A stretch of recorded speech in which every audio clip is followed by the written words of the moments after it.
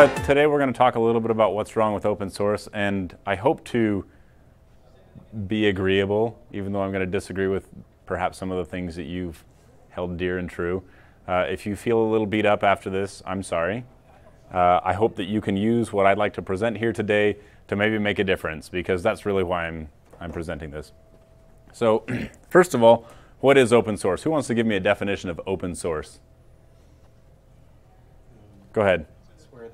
It's where the source code is publicly available for an application. Okay. Anyone else want to give a try? I'm guessing that means it's Yes. and is licensed in a particular way. Okay. It Enables you to use it freely without uh, certain undesirable consequences. Okay. Anyone else? All right, Wiki. Yeah, you might want to check out opensoftware.org. They have a list of all the things that make you qualify as open source. And some of those ideas might be vaguely represented in there, but I was a little surprised reading through that, and I think you might be as well.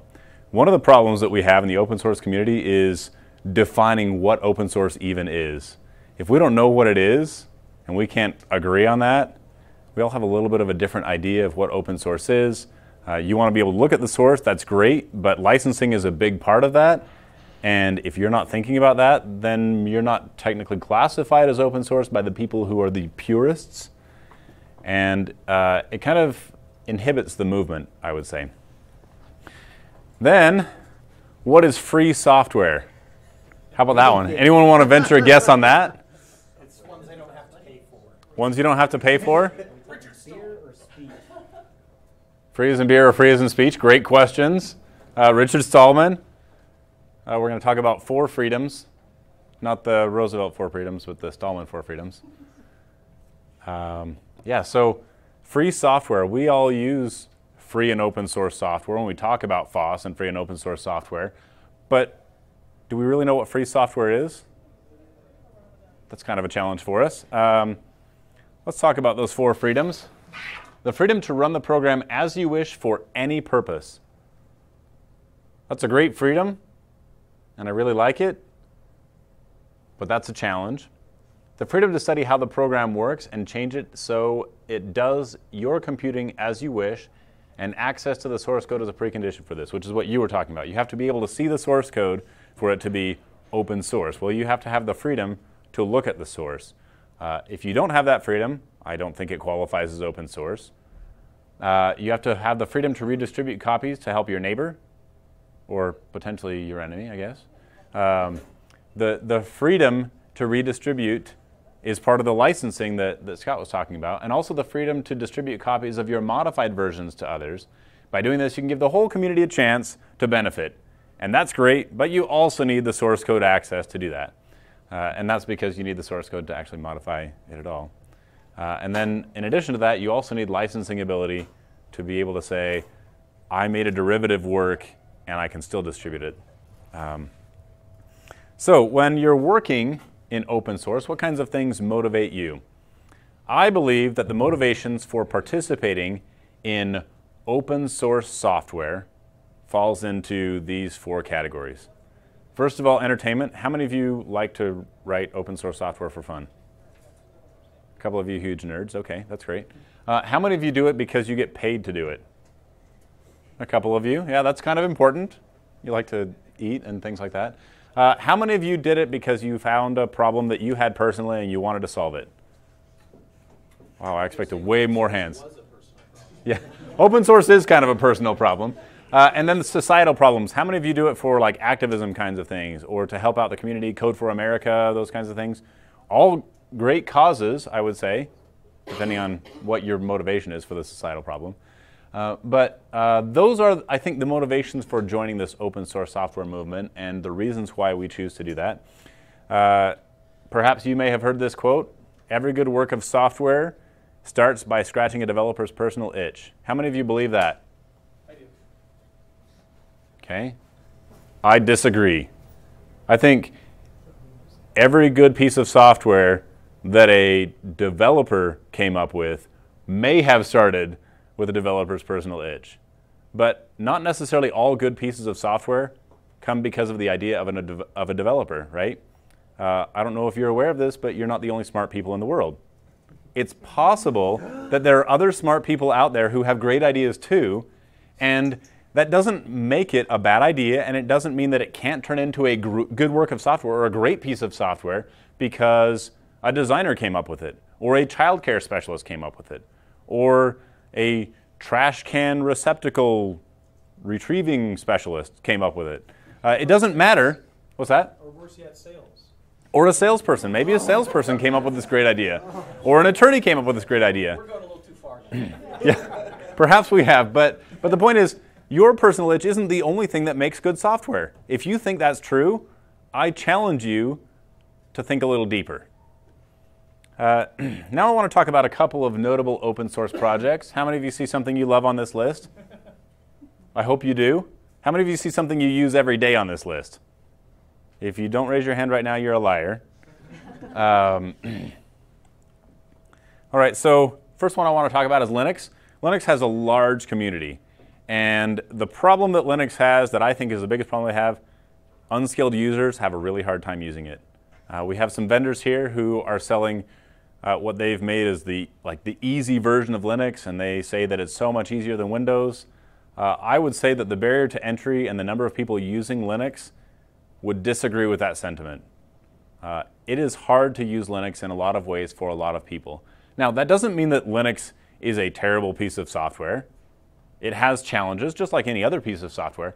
But being able to get unskilled people to use your software when you want them to use it is a problem for Linux. And there are a lot of people who are working on that. Uh, another part of the problem with Linux is reused ideas. Yes?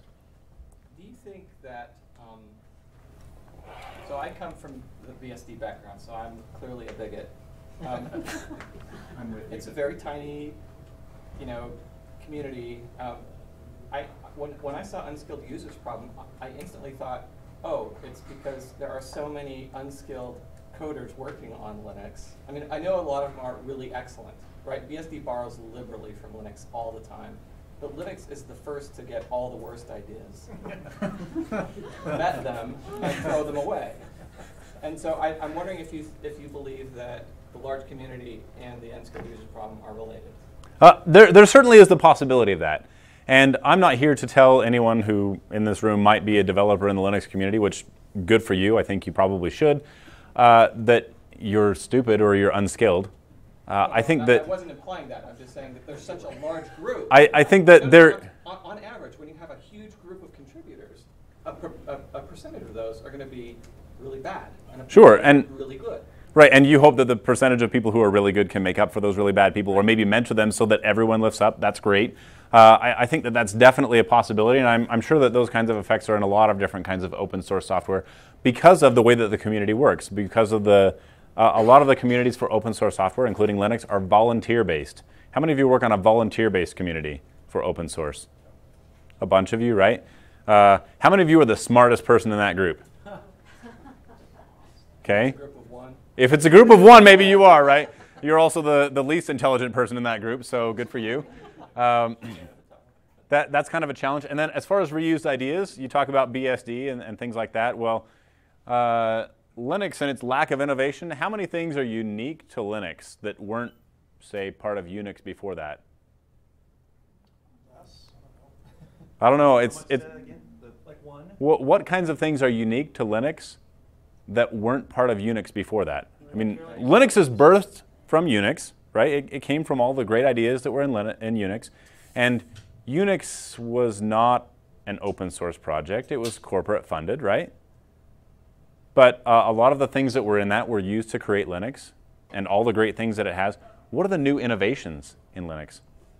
Recognizing USB when it's plugged in? I don't know. Yeah, and and is that really a, a Linux thing, or is that just something that they stole from Windows and Apple and whatever? I mean, the, there there is, I think, a dearth of innovation because of some of the way that this community works, and we think, oh, well, we're great developers, but we don't think about how are we moving this to the future. And then the last one I want to talk about for Linux is fragmentation. There are so many different flavors and distros of Linux that to some degree we're tempering our ability as an open source community to make things better because we've created a million different paths for us to use Linux. You've got, you know, Ubuntu and Fedora and Red Hat and whatever others. All, all the all the other ones. I mean, I, I don't know that I've named your favorite one, and if I didn't, I'm so sorry. Uh, if I did, I'm also so sorry. Uh, but but all those things are branches of the same software, and within the open source community and the large community that is behind Linux, you will have zealots who are, will say, you know, the best thing that you can do is contribute only to Red Hat.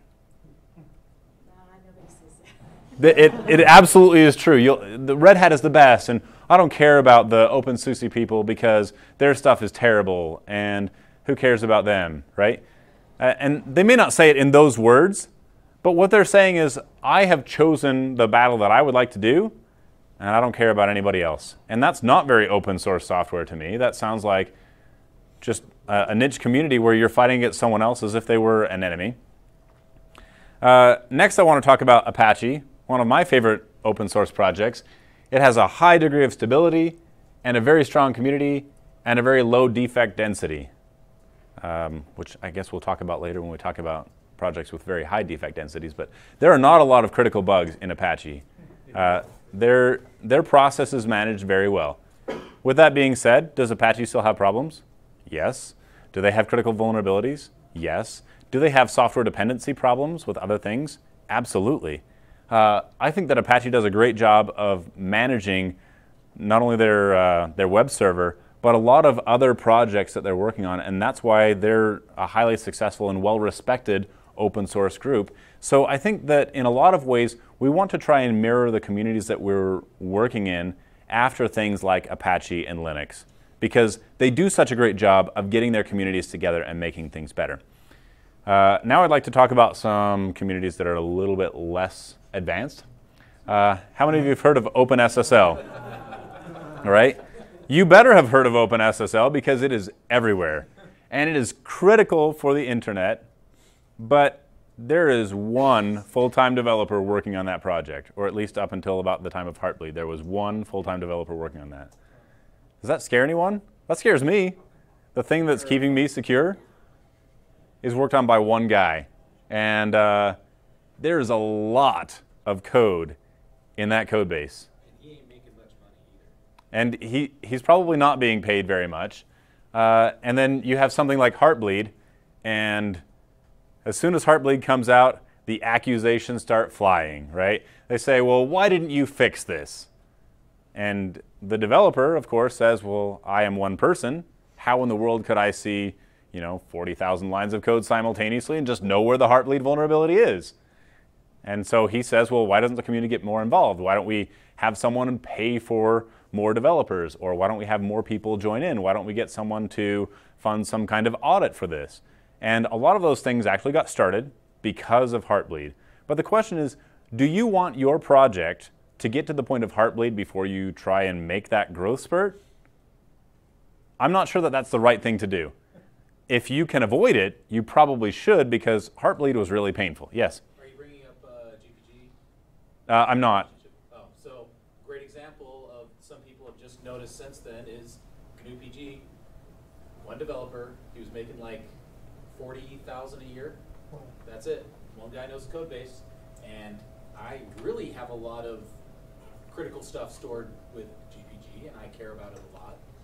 So, but how do we get the same attention to GNU PG that we got to OpenSSL without Heartbleed, You know, without the painful Yeah, how do we get there without the pain? And you have situations like what happens if that person decides to take a hiatus? They decide to go surfing in New Zealand for a while, or they get into a coma, unfortunately. Like, what happens to GPG if that one developer is gone? For any reason. Aliens abduct him, whatever. It doesn't matter what happens. If he's gone, who's running that project? No one. Uh, you want to make sure that your project is not a, a one man army or a one woman army. You don't want that to happen to your project, or you'll suffer the same kind of fate. Uh, let's talk a little bit about Node. How many of you are friends with Node? Love Node? I love Node. Uh, a great deal of very high level developers in the Node project decided the, the Joyent people are exercising some kind of totalitarianism. They're controlling everything. And so they decide, well, let's just fork that. We'll create io.js. Is that a great idea? Well, yeah, because open source software can do that, and it's open source. But now you just divided the community in half. And then people wonder should I go to Node? Should I go to io.js? Do I wait for io.js to catch up? Or, you know, where, where do I make that call? And why can't you just work it out? I don't know. Uh, I'm, I'm not one of those developers, and I don't understand how the, the process works inside of that. But if you have some individuals who are active contributors to your project who are feeling some dissatisfaction and are feeling like maybe the only thing that they can do to salvage what work they put into the project is to fork it, maybe you should have a, a thorough discussion on how to resolve that in a better way if you can. All right, how many of you heard of TrueCrypt? I'm a, well, I guess I was a big fan. Uh, licensing issues plagued TrueCrypt, and TrueCrypt was an open source project by the way that the developers decided to name it, but a lot of people were very concerned about the licensing that they wrote for themselves and had deemed it that it was not open source because of some of the licensing restrictions. And this is where open source gets really fuzzy. How do I know if it's open source? And then you have a hidden development group of a bunch of people who nobody knows, who are trying to say, you know, secret because of what they're working on. I guess that's probably a good thing. But what happens if those people go away? Well, they did. They abandoned the project. They said, I'm sorry, we're done. There are unfixed vulnerabilities in this. You should never use it again. And for something as, as, important as that, you know, you want to be able to audit that and determine that. So someone uh, decided wisely to create a crowdfunding, you know, Kickstarter type of thing to fund an audit for security of TrueCrypt. And they did that just in time for the TrueCrypt people to rage quit and leave. Uh, that's great, except for what do you do now? So the people who funded the audit spent all their money, know, the auditing people started the work. They actually decided to continue finishing the work. They came up with a couple of things that were probably in need of some repair, but it didn't matter because none of those people will continue to work on it. Uh, that's, that's a problem for your open source thing if that's what happens. Uh, I think that if you need some funding to do something like auditing, maybe you should do that uh, in advance so that you don't have to have that kind of a, an environment where you just need to quit. And uh, also, avoiding project abandonment by really important people is a big deal. Uh, you need to make sure that if your project depends on certain people, that you get them engaged or you get them replaced. All right, uh, another one that I really love that maybe isn't used as much as some of those others, FFmpeg. How many of you used FFmpeg? Okay, a lot of you. Uh, it's a powerful tool. It is everywhere, but it is kind of hard to use, right? You have to like look at through the man pages or Google forever to find that one guy who figured out the one switch that does the one thing that you want. And so you have a bunch of these like gap filling applications that spring up on SourceForge of I figured out how to make this GUI to do FFmpeg on this one thing. How many of you have seen like 10 of those, right? A lot of you. There's just a ton of them. And the question is, is that really what you want to do with your project? Uh, if you're a developer and you understand how to write a command line application and people who are trying to use your application don't understand how to use command line applications, maybe you should think about the direction that you'd like to take your application in or figure out who can help you to get it to those other users that you would like it to reach. Um, for those of you who are fans of XKCD, making your program or your product easy to use is kind of important. Uh, I don't know how many of you can pass the TAR test, but uh, a lot of people can't. It is really hard to be able to use something and how many of you use tar on a regular basis, maybe even every day at your job, right? You use tar a lot. But man, when you have to do that one thing that you haven't done in three weeks or something, good luck. You are Googling or you know searching through the man pages. What was the word that they used to, to call this thing that I'm trying to do? Yeah, is it capital R or lowercase r or whatever? And it takes you a while to figure that out. And if you have 10 seconds or whatever, if you have like an hour to solve this problem and you're trying to write this thing and whatever, how do you how do you solve that? Well, the solution is you should probably just write better software or cleaner documentation. All right. Now we're going to talk about bug density. Um, how many of you are fans of Exim? You use Exim? Uh, there was a talk given it. okay, two different questions. That's very true. Um, Exim has an enormous popularity, pretty large community. Uh, there was a talk recently given at DEF CON talking about the, the bug density. In the 3,500 lines of code, there are 13,401 critical bugs. Does that scare anyone else? That's an off the charts outlier for all the things that they studied in, in preparing for that talk. Yes? Out of curiosity, what uh, coding convention do they use? GNU's? Uh, I don't know the answer to that question. So I'm reporting on someone else's research. I did not actually look into the source code of Exim myself.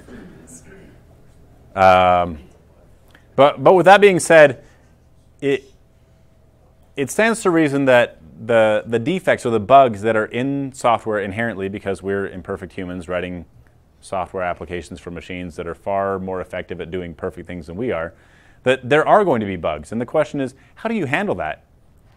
If you don't have a process for handling that, well, you might end up with 13,000 critical bugs and 35,000 lines of code, which is really scary. Um, if you have, you know, 100 lines of code and you end up with one critical bug, that's probably equally very scary. Uh, you need to know what your software is doing and planning to make sure that you have that kind of uh, a check in place is important. Uh, and it takes work. Uh, a lot of times as developers, we're scratching that itch, we're doing the thing that we want to do, and we don't think about some of the consequences of what we're actually doing, and we don't think, how can I make sure that this is kind of durable or that it works in other sorts of scenarios? Uh, all right, the last one I want to talk about, LibreOffice OpenOffice. How many use this? A couple of you, probably because your company doesn't want to pay for software or something like that. Um, it's an open source alternative to some great software packages, and it has some really growing communities. But the, the problem is that these things were created as open source projects to compete with things like Microsoft Office. And when you measure these things up against things like Microsoft Office, where they've got a whole lot of head start, that it's missing some features and when you try and switch, it's not very easy. Uh, I remember the first time that I tried LibreOffice and I was trying to pull my Excel spreadsheet from one place into another, and the columns were all messed up. And I tried as hard as I could to fix it, and I said, forget it. I'm leaving your computer here and your terrible software here, and I'm going to go home and use Microsoft Office because it just works. Uh, if your software has that kind of a path where you'd like people to migrate from proprietary software to your open source software, you need to have some kind of transition to get them in there, and it needs to be a good one. And you need to make sure that you're not forgetting the features that people use. If you say, oh, well, I've got 90% of the features, you know, is 90% good enough for you? It's not good enough for me. Really good example of the spreadsheet. There was some spreadsheet bug that, that like a large population of corporate America uses to calculate some certain formula, and Microsoft Excel, Excel does it uh, awesome. Uh, OpenOffice Calc. No, we're never going to make that work. Yeah. Uh, how would you feel if the developer of your project said, "We're never going to make that work"? would you, would that make you want to use that piece of software? The answer is no. In case you were wondering, you would not want to use that piece of software. Thank you for the clarity. Glad I could help you out there, Russell. So what does Bluehost use internally? You guys use Word? Uh, we use probably all of those things. Okay. But it's, it's more of an individual kind of thing and a needs based thing. And a lot of people at Bluehost actually don't use any of those because they don't have any need for that. But that's a different story entirely. All right, so uh, talk a little bit about fallacies. I'm going to tell you my fallacy right now. This is an observation fallacy. Uh, I'm talking about the problems that I see in open source with the things that I have seen. And I've mentioned a couple of them here, and you say, well, Seth, you don't know about my project and how great it is. And the answer is yes, I have no idea about your project and how great it is. But the same thing applies to the way that you think about open source. If you think open source is so great and all open source is wonderful and it has been touched by the hand of Richard Stallman and now it's beautiful and it can never be bad, you must be looking at the wrong projects, okay? Because there are a lot of terrible open source projects out there. Uh, we as humans tend to, to have this fallacy where we look at the things that we care about and we make a judgment based on just those things. You know, you, you make a judgment uh, in the morning and you say, you know, my kid ran away to the bus stop a little bit early and I didn't know he was there, so I must be a terrible parent, based on the one data point of this morning. You know, is that a good data point to make a judgment on? No, of course it isn't. And a lot of times we don't think about the way that we're making these kinds of judgments. We just say, oh, someone told me that open source is great, and I know that I use Red Hat, and Red Hat is perfect for me, so all open source is good. Uh, that's a little bit of a logical jump, everyone. So please be careful with that. So, how do we solve the problem of open, of open source? There are, I mean, open source is a, a fantastic idea, but it has some problems. So, I think the first thing is it starts with you. You need to be involved, and instead of taking a, you know, the side path of, well, someone will do it, or I'm just going to use this software because it's free, then maybe you know you can make a change and you can make a difference in the community. So first of all, freedom isn't free. Uh, thanks to all the veterans and those who have you know kept our country safe. But uh, freedom, as far as software, also isn't free. How do you pay for the cost of software? Software costs to develop. Uh, some of you who are hobbyists probably use your spare time for that, right? That's a cost that you pay when you develop software. Is that great? Maybe, if you're willing to give it. But what happens if the guy who does the hobby software decides, ah, you know what? I want to surf instead of write software. Well, the cost is too high now. So who pays for it? And how does it affect other people? If you say, well, you know, in our group, we're going to have everyone will work on this project every Saturday from now until Christmas. You know, you're affecting a bunch of other people in this group. How does that affect them? How does that change their lives? Are you you know, inhibiting their family life or their political life or their religious life by saying, well, you have to be here on Saturday to do this thing. Um, we tend to use free and open source software because of our greed and our lack of willingness to accept the consequences of what we're trying to do. We say, you know, I'm going to use this because I can just use it. It's free. I can do whatever I want with it. It's open. And there's no obligation for me to do anything to help out with that project. But the moment that something like Heartbleed comes up, I'm going to complain to that dev and say, you didn't do your job. Uh, also, if you're trying to do something like get someone to pay for the cost of the free software that you're developing, you need to come up with some kind of alternate revenue stream. Uh, a lot of people have noticed the thing called in app purchases. Uh, that's kind of fantastic. Or you know, you resell private stuff, but uh, a lot of the the mantras that are behind open source say that if you have great software that's developed correctly, you shouldn't need a great deal of you know effective documentation, or you shouldn't need support because it should just be able to be used. Well, when you write software that's like that, you eliminate the monetary ability for you to provide support for that project as a service. Uh, how many of you have seen an open source software project where they provide a service to support MySQL maybe, or you know Maria or whatever those things are? Uh, a lot of these things, uh, or even Red Hat, uh, the software is free, and you can use the software as much as you want. But the second you have problems, they would like you to come and pay for the support. And that's an interesting model, but if you develop software where people don't need support, how are you going to pay for that? It's, it's difficult to do that. The next thing you need to talk about is where do you want this to go? Do you have a roadmap or are you just scratching an itch? Um, do you start developing before you really think about the long term consequences? Are you just developing for you? If so, why are you open sourcing it at all? If it's just your thing, who cares what you think? right? That's not open source. That's, hey guys, here's my posting on Twitter or Facebook, or it's made of code though. Um, and uh, is anyone in your project thinking about the future? Where is your project headed? Do you know where you're headed?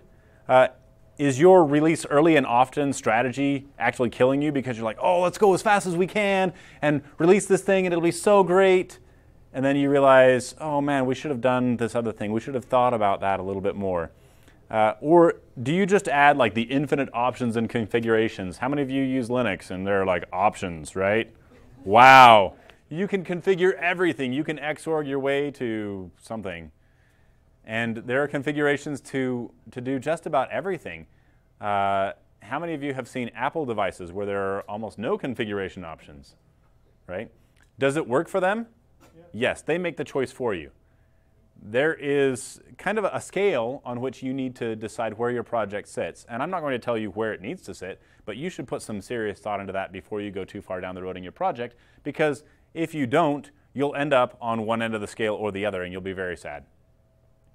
Uh, the next is what kind of community do you want? Who do you want to be involved in your project? Uh, and how do you get those people to be involved in your project? How do you entice them to be part of your project? Um, how are you meeting the needs of the potential users that you want? Are you the only user? Do you think you're the only user? Do you want to be the only user? Uh, and if so, why is it open source? Uh, are you building a product that competes with something else? For example, I want to build LibreOffice to compete with Microsoft Office. Okay, well, how do you get your people to transition? If you're building that kind of open source project and you haven't thought about that, your project will be a failure. Or you'll have to scrap it and start over again, which I guess is a failure. Uh, how are you identifying the needs that your users have? Do you just think that you know what they're like? Uh, I think a lot of the problems with things like LibreOffice and OpenOffice is you have a bunch of developers who are really smart coders who have never used Excel like an accountant right? If you think you know what it's like to be an accountant, you're wrong. Uh, if you think you know what it's like to be a marketing specialist, you're probably wrong. Uh, those kinds of things, I mean, people spend their lifetimes trying to learn how to be good at their profession, and their profession is not yours. They've lived entirely separate lives from you, and they're okay. They've survived. So it's conceivable that they don't think exactly like you, and that if you spend some time trying to figure out how they use that, then you'll probably be better off. A lot of times we as developers, especially those of us who develop, you know, in command line kinds of things, we ne neglect front end things. We don't care how pretty it looks. We just want the software to work because we care about functionality, right? I want my script to be able to do this thing. Oh, how do I use this? Oh, well, you'll have to just look through the code, right? RTFM. Or RTFM. Uh, also, proper communication and error messaging. How many of you have seen an error message that you knew was written by a developer? Everybody in this room, right? The, the error code 1246, or let me spew like the memory address of where the problem happened to the user. How many users in the world understand how to read a memory address and how to fix it? Almost nobody, right? Nobody's going to pull out IDA Pro and let me figure out how to fix your code. It's an open source project and they're just the user. They're, yes? The one that annoys me the most is the OK button. Your file was just deleted, and you have to click OK. And it's like, it's not OK. Give me an The worst is when it has cancel too. Right, yeah, right. All right, and have you done any user testing? Do you actually test with the users that you expect to have, or people who approximate that, or do you test with your group of peers because they're really smart? Uh, next, what kind of support will you provide? Is the support that you provide you're on your own? Or is the support that you provide, well, patches are welcome, right? Uh, what happens if the person who finds a bug in your stuff doesn't want to contribute to your product? or doesn't know the language that you're writing it in. You know, I don't know Erlang, I'm sorry. I know that there's a problem with your thing, but I don't know how to fix it. Oh, well, patches are welcome. Or what if a, a designer says, you know what, you would be much better off if you made this change? How does a designer make a patch in Erlang? It doesn't happen, guys. It just doesn't, okay? Um, you need to be able to understand how to, how to deal with those kinds of scenarios if you'd like your project to be successful. And then how do you respond? How do you get feedback? Uh, a lot of open source projects don't have anything in the README to say, you should give feedback here. Or in their you know, documentation, there's no way to say, email me to let me know, or I respond best in Twitter. If you do, tell people they're much more likely to try and connect with you in the way that you would like if you say, I would like you to communicate with me in this particular manner. If not, then you'll end up with people like me who posts on your GitHub a critical vulnerability saying, Your software is broken. I didn't have an email address to send this to, and there was no other way for me to tell you that this is a problem, so I'm zero daying your software because there's no other way for me to communicate with you. You don't want that to happen to your software project. But does it happen all the time? Yes, it does. And then how do you communicate uh, with your developers? Yes? What happened to you when you did that? Were they like were they mad? Were they angry? Um, yeah, which time? uh, most recently, I actually uh, submitted a bug for the Call for Papers uh, open source project that they were using for OpenWest. And I personally did not want to submit a patch because I'm not a real big fan of coding in PHP and looking through someone else's icky code. And you know what? It's an open source project and that's great, but what if I don't want to contribute to it? So I put up some stuff and said, hey, there's no other way for me to communicate with you, but you have this bug in your software, and I exploited it actively on the OpenWest thing, and you should probably know that that should be fixed. And actually, another member of the community jumped in and patched it. So it, it worked, but at the same time, how many people are using that software before it was patched? Because you've got your open source thing that you know is already installed for OpenWest, and do you think Steve updated it? I doubt it. Not between the time when he installed it and uh, certainly not by the time I exploited it, but probably not by now either. So does that answer your question? Yes. All right, uh, moving on. How do you communicate with your group of developers? Uh, how many of you have a geographic challenge in your group of users that are you know, putting things together? You have people who are all over the world because the internet is so awesome and open source will save you, you'll just communicate by email, right? How many of you think communication by email is a great idea? For that, for that. There's a couple people like halfway raising your hands. Okay, guys, that's not what I'm talking about here. How many of you think that communication through IRC is a great idea? I'm going to raise my hand down because I think that's a terrible idea. Um, uh, phone calls, maybe that works for you, or maybe you know video chat. Uh, you have to figure out how that works for you, and maybe those things work really well in your community. Uh, I work with the Utah Saint group, and a lot of people there love IRC. I hate it. I'm sorry. I think it's terrible. Uh, but that doesn't necessarily matter. If the people in your group use IRC very well, then you should totally use IRC. If you have critical members of your team who don't know how to use IRC or don't want to use IRC and they never log in, are you going to communicate very well with them? Not if you're using IRC, you won't. Just send them an email. Then you can send them an email. um, and also, can you identify the challenges with the communication that you're having? Do you just assume we've chosen email and email works? Have you ever, you know, asked people, is this working for you?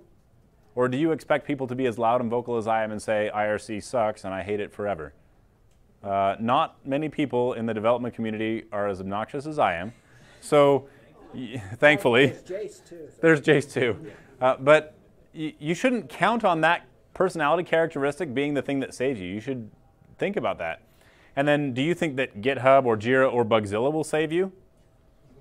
If you do, or do you implicitly think that they will save you? Uh, if you do, you might be wrong. Uh, next, focus and priorities. How many of your open source projects focus on at least this many things? If you're raising your hand, you're a liar. Um, if you have both stability and performance on the list, you're doing great. If you're like, oh, you know what, I will totally add that functionality for you, you're doing fantastic. Uh, if you're putting compliance into your project, you're probably regulated for some reason, like for legal reasons, we're being compliant. Uh, or a sadist, yeah. And then as far as like usability, if you're trying to make it easier for blind people to use your thing, no, you're not. I'm sorry, you're just not. And security, well, I mean, we've got OpenSSL and they've got the Heartbleed thing, and they're doing a great job. But holy cow, it is hard to put that on your roadmap. And unless someone is actively auditing your software, security is probably not a big priority at all. So uh, I guess the, the idea is you can pick two of fast, good, or cheap, and we generally don't do good in open source software, in case you were wondering. Uh, so uh, next, how do you endure? How do you make your software better so that it can last? What happens if a project member leaves? What do you do?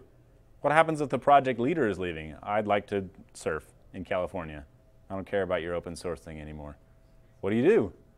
Uh, you know, hopefully, it's kind of a graceful transition where they're willing to hand it off to someone. But shoot, if it's not, and you don't have someone to pick up the slack, you're in really big trouble. Uh, what happens when you need someone to leave? What if someone's caustic and you have to kick him out? What if they're the guy in the locker room that you know is causing all the problems? Do you solve that problem, or do you just let it fester? Uh, do you have a policy in your group on how to handle that? And then how do you keep your project from infinite forking? How do you not become Node.io.js the, the next, right? How do you make sure that people don't get mad and just say, well, it's open source, I can do whatever I want? All right, and then uh, how do you balance the individual versus group? Do you have individual accomplishments and challenges that are overcome by individuals running the entire thing? Or do you have a totalitarian, that thing, a dictatorship running your project where this one person runs everything and you don't get to choose and you stifle creativity. Uh, sometimes there's a little bit of a balance to be struck, or sometimes, uh, you know, it's the right thing to do to have just individuals contributing weird things and hope that it all turns out. If you're really good people and you work well together, maybe that works. Or maybe you need the benevolent or not so benevolent dictator to help you get your project out. Uh, next, are you innovating? Are you just forking or stealing? Are you saying, oh, well, Linux is going to be great because Unix was great and it's Unix like? We just updated it. Uh, or let's make it like Apple. I saw this one thing on, you know, I, I bought an iPhone and iPhones are really cool, so let's make another phone like an Android. Uh, that's not terribly creative, that's not innovation, that's using the same idea that someone already had. And while all of those projects are great, it's not making the world a better place, even though you're still using open source software. Uh, and then lastly, about innovation, hey, maybe let's make it like Facebook, except just this one thing. We're going to make it better in this way. Uh, there's not a whole lot of market viability for competing against Facebook, in case you were wondering. There's just not. Um, there are a lot of open source things out there trying to compete with that, and if you've heard of any of them, you've probably never used them. All right, how do you handle maintenance? Do you commit any resources to maintenance, or do you just say, well, we're looking for these new features. We're going to add these new features and it's going to be great. Who's looking at the code to make sure that you didn't just introduce another bug on top of a bug on top of a bug? Is it anyone in your group doing that? Well, you should probably come up with a plan to handle that. Next, how do you handle defects? Can you respond well and quickly to critical defects? Can you have someone like the one developer in OpenSSL fix Heartbleed and push out a, uh, an update that same day? Hopefully. Um, or can you fix the open call for papers thing that was out there in a very quick time frame? The, the flip side of that is, uh, how do you respond to non-critical things? If someone finds a defect and you're like, oh, well, you know what, that doesn't matter. I'm never going to do the thing that you want. I'm sorry. I just, I don't care. I'm a hobbyist and I'm doing it for me. Uh, that drives people away from your project and removes support for what you're trying to do. Uh, the next thing is licensing and intellectual property. Uh, I know that Richard Stallman thinks that there should be no intellectual property and licensing is all evil, and the license that you should use is everyone can use everything and redistribute it and rechange it and whatever, and that's part of the open source thing. But intellectual property matters, and it matters to people who spend their lives trying to make things that they can sell so that they can survive. Uh, your hobbyist project is kind of not as big of a deal as people being able to feed their families. I'm sorry, that's just how it is. Um, so we need to be able to respect that and we also need to be able to use that so that your project doesn't get bitten by some legal problem, that you don't get uh, issues that prevent you from being able to launch your project or to continue to be successful in what you're doing. Uh, the next is who contributes. Do only developers get to contribute to your project? Do you have to know how to use Jira or GitHub to contribute to the project? Uh, if that's the way that you want it to be, maybe that's okay, but I think you're missing out on a lot of people that can help with that. Do you have too many chiefs or too many cooks or whatever the, the phrase is? You have so many people who are like, oh, let's do this one thing, we'll just add this. Um, or do you care more about politically politicized diversity in your project than you care about making sure your project is good? Do we need more women in our project? Well, that would be great, but do you care more about your project or do you care more about making sure that you have some political equality number to make sure your project is good? Uh, I'll leave that up to you, but I think that if you care more about your project, your project will be better. And at the same time, you shouldn't cut anyone out uh, if they're a qualified or helpful person because of any bias that you might have. Next, how do you manage change? What's the prox- process for making a change in direction? If you've created some open source thing and you realize we're going in the wrong direction, do you have a plan in advance to be able to make that change? Or are you just expecting that magically it will fix itself? Uh, we're, as developers, not very good at making those kinds of large scale changes, and legacy systems are really hard to manage. Uh, how many of you heard of this short story? we all kind of think that everybody can do it and anybody should do it, but they don't, right? Nobody does it, and then everyone gets mad because somebody didn't do it. And we all point fingers and say, well, you should have fixed the bug in OpenSSL. You should have fixed the bug in this one thing. Or you should have released a better product. Or, man, I wish FFmpeg weren't terrible to use from the command line and I had to look through the man pages for 10 minutes while I figure out how to you know, copy this to a different format. Well, that's great, except for what did I do? What did I do to solve that? Did I contribute to FFmpeg? Did I improve the documentation? Did I go look at the documentation? Did I just go post something on their, you know, their forums to say your software is terrible and I hate you all forever? Uh, you laugh, but people do it, right? And and we do it. So the question is, how do you make it better? Well, uh, in the end, open source will not save you.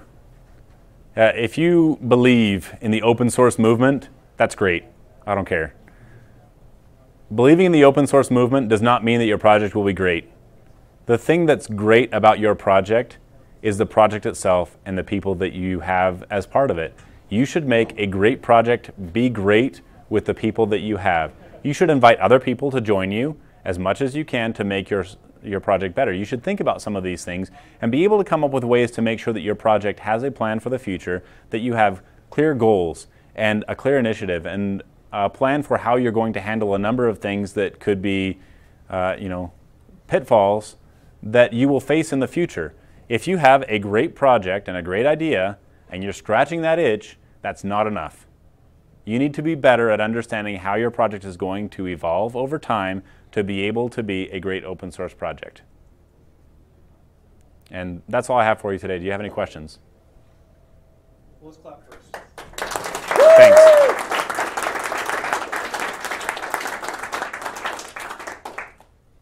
Yes. What will save me? You, nothing. Oh. Being smarter, Russell. oh. Yes. Can you name any open source projects that took a hit to quality because they increased the diversity of the team? Can I name any open source projects that have? Um, that's a really good question.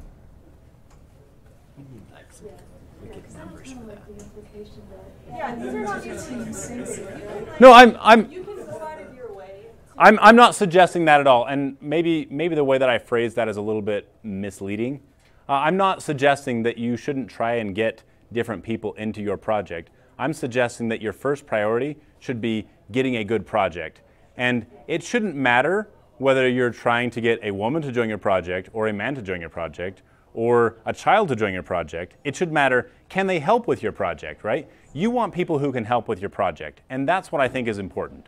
Now, do I think that all those other things have some great value? Absolutely. And uh, the people that I have worked with on a number of projects, it, it really doesn't matter where they're coming from or what their background is. It matters what they can contribute to the project. If you can contribute to the project, that's what open source is about. Does that help? So I'm not trying to say that if you have greater diversity in your project that it will be, you know, inhibited in some particular way. I'm just saying that if the thing that you're chasing after is diversity over this is what we're trying to do with our project, I think you're facing the wrong direction.